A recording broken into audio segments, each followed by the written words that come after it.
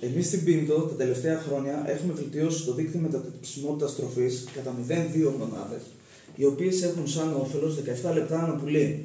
Το πιο σημαντικό είναι η μείωση του ανθρωπικού αποτυπώματος, καθώς επίσης και η μείωση της απαιτούμενης ποσότητας πρώτων υλών που απαιτούνται για τη διατροφή των πτηνών.